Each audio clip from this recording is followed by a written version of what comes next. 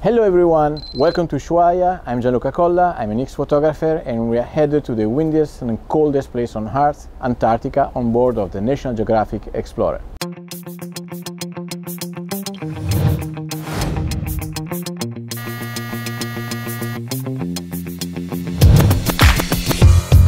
Antarctica is a very unique place to explore and I will do it with a very unique companion which is the GFX system.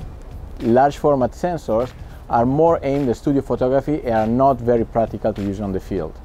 But Fujifilm with the GFX series revolutionized this category and created a series of body and lenses that can totally keep up with full frame cameras and mirrorless.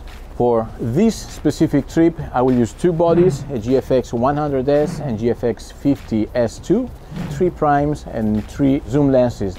Normally for this kind of photography in extreme conditions, I will use my day-to-day -day workhorse, which is the X uh, series. In this specific expedition, I'm challenging the GFX system to see if it can keep up with the demanding and extreme condition of water. So stay tuned and we will discover it together after we cross the Drake Passage, one of the most rough seas in the world.